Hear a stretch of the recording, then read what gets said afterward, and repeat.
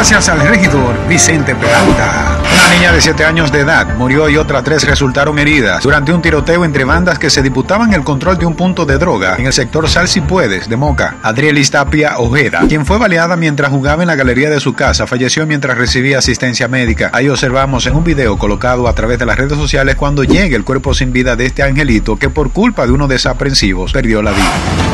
Este fue un boletín de noticias en voz de Luidín González.